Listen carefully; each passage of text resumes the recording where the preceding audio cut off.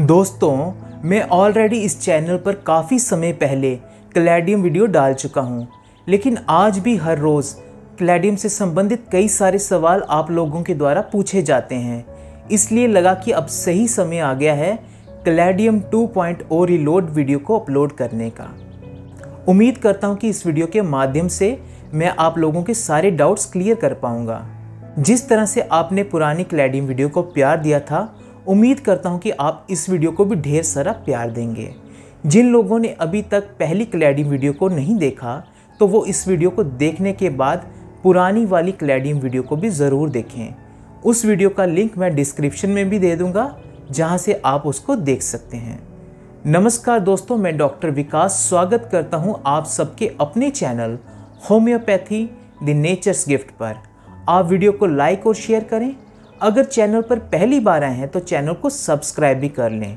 Bell icon को press करके all को सिलेक्ट कर लें, ताकि जब भी मैं कोई लेटेस्ट वीडियो अपलोड करूँ तो उसका नोटिफिकेशन आपको मिल सके। तो चलिए वीडियो की शुरुआत करते हैं।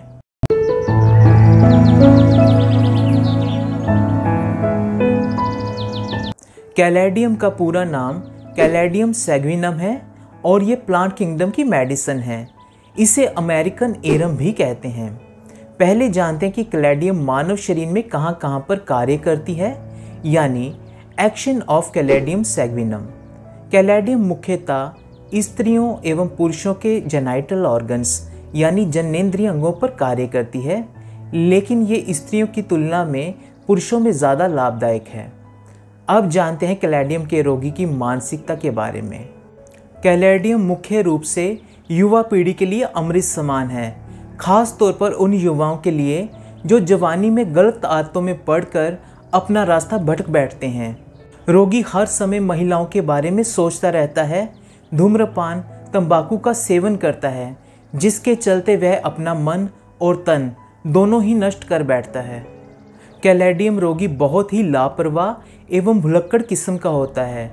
रोगी की नेचर, प्रवृत्ति बड़ी ही निराली होती है।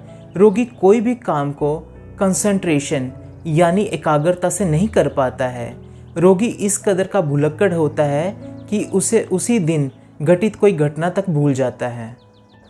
रोगी बैठे हुए यही सोचता रहता कि कोई घटना हुई थी या नहीं, लेकिन जब तक वह खुद उस जगह पर जाकर देख नहीं लेता, तब तक वह विश्वास नहीं करता है। लेकिन दोबारा से थोड़ी देर के बाद उसे संदेह होने लगता है कि क्या कोई घटना हुई थी? यहाँ तक कि रोगी दुकान से सामान खरीदकर दुकान पर ही सामान को भूलकर आ जाता है। अब जानते हैं कि कैलेडियम किन किन रोग लक्षणों के होने पर उपयोग की जाने वाली मेडिसिन है। कैलेडियम रोगी की आँखों में भारीपन होता है। रोगी के माथे में दर्द होने के साथ कंधे में भी दर्द होती है। रोगी ज़रा सा भी शोर सहन नहीं कर पाता है। कानों में थ्रॉबिंग यानी एक तरह की टपक होती है। ऐसे रोग लक्षण अक्सर धूम्रपान एवं तंबाकू का सेवन करने की वजह से होते हैं। ऐसे में क्लैडियम को उपयोग करने से रोगी को आराम मिलता है। क्लैडियम रोगी को जब रात के समय नींद आने लगती है, तब मेल ऑर्गन में कड़ापन आने लगता है। लेकिन जैसे ही नींद टूटती है तो कड़ापन भी चला जाता है। बिना किसी तरह के कामोत्तेजक सपने के आए बिना ही स्वप्न दोष हो जाया करता है। संबंध बनाने के समय रोगी के ऑर्गन में कड़ापन बहुत थोड़ा होता है या फिर बिल्कुल ही नहीं आता है। इसी तरह से लंबे समय तक कड़ापन ना होने की वजह से या फिर स्वप्न दोष की वजह से रोगी में इम्पोटेंसी यानी नामर्दी आ जाती है। रोगी में संबंध बनाने की इच्छा प्रबल रहती है, लेकिन शरीर में बल नहीं रहता है। ऐसी परिस्थिति में क्लैडियम को उपयोग करना चाहिए, जिससे बहुत ही बढ़िया परिणाम मिलते हैं। इसके अलावा क्लैडियम रोगी को मेल ऑर्गन में प्रूराइटस की समस्या हो जाया करती है, जिससे ऑर्गन में बहुत ही ज़्यादा खुजली होती है। अंडकोश की चमड़ी मोटी एवं कड़ी पड़ जाती है। यहाँ पर भी क्लैडियम को उपयोग करने से बढ़िया परिणाम मिलते हैं। यहाँ तक कि बैलेनाइटिस रोग में भी कैलेडियम अच्छे परिणाम देती है। कैलेडियम रोगिणी को ड्यूरिंग प्रेगनेंसी यानी गर्भ धारण के समय प्रजनन अंग में बहुत ही ज़्यादा खुजली होती है, जिसे प्रूराइटस कहते हैं। रात के समय रोगिणी को गर्भ में ऐंठन शुदा दर्द होती है, जिसके चलते रोगिणी सो नहीं पाती है और कर्राती है। ऐसे में कैलेडियम लाभदायक मेडिसिन रहती है, इसको ज़रूर उपयोग करना चाहिए। कैलेडियम रोगी को गले में कंस्ट्रिक्शन यानी संकुचन होती है। रोगी को सांस लेने में कठिनाई आती है। रोगी बार बार खांस कर बलगम को बाहर निकालने का प्रयास करता है, लेकिन बलगम आसानी से निकलती नहीं है। खास तौर पर ऐसा धूम्रपान तंबाकू के सेवन की वजह से होता है। बलगम निकलने पर अस्थमा का खिंचाव कम हो जाता है।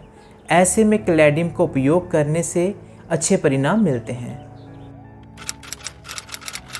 कैलेडियम रोगी का पसीना मीठा होता है जो मक्खियों को अपनी ओर अट्रैक्ट यानी आकर्षित करता है। मक्खियों के काटने पर जलन एवं बहुत ज़्यादा खुजली होती है। ऐसे में कैलेडियम का उपयोग करने से रोगी को राहत मिलती है। दोस्तों, अब आखिर में जानते हैं कि बताए हुए रोग लक्षणों के मिलने पर कैलेडियम को किस तरह से उपयोग में लाना चाहिए। बताए हुए रोग लक्षणों के मिलने पर आप शुरुआत कैलेडियम 30 से करें। दो से तीन ड्रॉप्स को सीधे जीप पर डाल लें या फिर एक चम्मच पानी में डालकर पी लें, या फिर 30 से 40 साइज़ के ग्लोब्यूल्स में क्लैडियम 30 को डालकर तीन से चार ग्लोब्यूल्स को मुँह में रख के चूस लें ऐसा आपको दिन में तीन बार दोहराना है जब आपको लगभग 70 टू 80 परसेंट तक आराम आ जाए, तब आप कैलेडियम 200 को उपयोग में लाएँ। कैलेडियम 200 के दो से तीन ड्रॉप्स को सीधे जीप पर डाल लें, या फिर एक चम्मच पानी में डालकर पी लें या फिर 30 से 40 साइज़ की ग्लोब्यूल्स में कैलेडियम 200 को डालकर तीन से चार ग्लोब्यूल्स को मुँह में रख के चूस लें। ऐसा आपको दिन में केवल एक ही बार दोहराना है, जब तक आप ठीक नहीं हो जाते। अब चलते हैं ऐसे सवालों की ओर, जो आपके द्वारा बार बार पूछे जाते हैं। ऐसा कई लोगों का सवाल आता है कि क्या वह शुरुआत में ही कैलेडियम 200 को उपयोग कर सकते हैं? तो मेरा यही उत्तर रहेगा कि आप ट्रीटमेंट की शुरुआत कैलेडियम 30 से करें, बजाय कैलेडियम 200 के। कैलेडियम 200 को लंबे समय तक उपयोग ना करें। दूसरा पूछे जाने वाला सवाल है कि कैलेडियम कहाँ से मिलेगी? दोस्तों, कैलेडियम आपको किसी भी होम्योपैथिक क्लिनिक से या फिर फार्मेसी से मिलेगी। आप इसको ऑनलाइन भी ले सकते हैं। इसका लिंक मैं डिस्क्रिप्शन में दे दूँगा। आप वहाँ से इसको ले सकते हैं। तीसरा और आखिरी पूछे जाने वाला सवाल है कि क्लैडियम का प्राइस कितना है? दोस्तों क्लेडियम का price company to company vary करता है। इंडियन प्राइस कम रहता है और जर्मन मेडिसिन का प्राइस ज़्यादा रहता है। इसका प्राइस लगभग 85 रुपीज़ से शुरू होकर 125 रुपीज़ तक जाता है। उम्मीद करता हूँ कि आप लोगों के सारे डाउट्स क्लियर हो गए होंगे। दोस्तों, जैसे कलेडियम को लेकर आपके द्वारा कई सवाल पूछे जाते हैं, वैसे ही सेलेनियम और एग्नस कैस्टस को लेकर भी कई सवाल पूछे जाते हैं। अगर आपको इनमें से किसी का वीडियो या फिर पुरानी वीडियो का कोई सेकंड पार्ट चाहिए तो आप कमेंट करके ज़रूर बताएँ। मैं उसको बनाने का जल्दी ही प्रयास करूँगा। आशा करता हूँ दोस्तों, आपको ये वीडियो पसंद आई होगी। वीडियो को लाइक और शेयर करें। चैनल को सब्सक्राइब करें। मिलते हैं नए टॉपिक और नई वीडियो के साथ। तब तक के लिए स्टे हेल्दी स्टे happy.